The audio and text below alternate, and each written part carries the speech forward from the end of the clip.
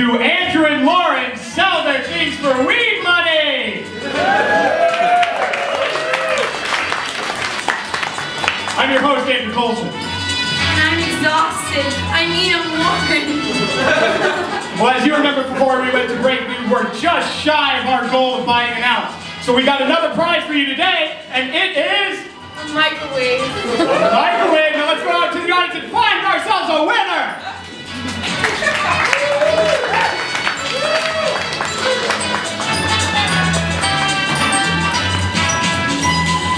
Oh, we have ourselves a winner! Okay. So you, are you gonna buy this from us? Are you gonna buy a microwave? It's a really cheap microwave. Thirty dollars. That's all we ask. Let's chop it down. Chop it down to twenty. Oh, Take the oh, it's microwave. from my hands. It's so Oh, oh, it's heavy, it's heavy, it's heavy, and we'll take the twenty dollars.